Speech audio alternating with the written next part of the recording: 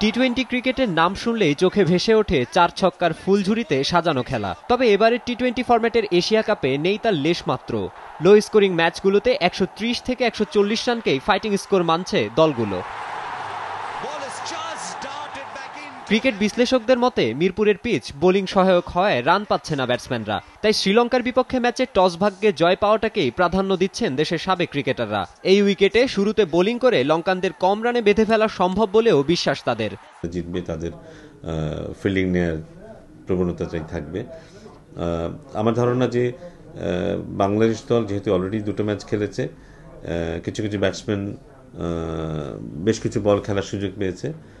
হয়তো অনেক বেশি রান হয়নি, কিন্তু ওই যে খেলার যেই এক্সপিরিয়েন্সটা হয়েছে এখানে দুটো ম্যাচে সেটা ওদের কাজে লাগবে। উইকেটের যে ঘাস আছে, যে বাউন্স আছে, এটা ফাস্ট বোলারের জন্য খুবই সহায়ক এবং ব্যাটসম্যানদের জন্য খুবই কষ্টকর। ফার্স্ট ব্যাটিং যদি করে থাকে, তাহলে একশো চল্লিশের উপরে রান করতে পারলে যে কোনো দলকে আটকানো সম্ভব। টি টোয়েন্টি ফরম্যাটের এশিয়া কাপের এ আসরকে দেখা হচ্ছে আসন্ন ওয়ার্ল্ড টি টোয়েন্টির প্রস্তুতি হিসেবে।